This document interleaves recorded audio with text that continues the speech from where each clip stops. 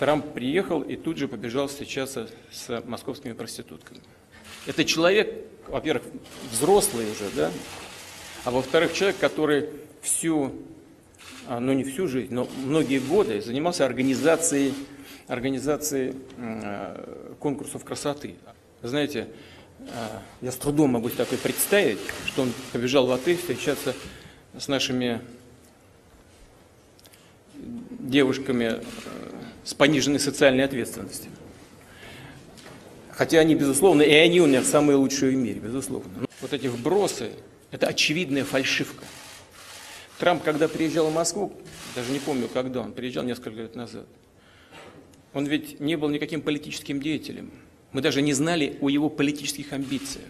Ну, просто бизнесмен, один из богатых людей Америки.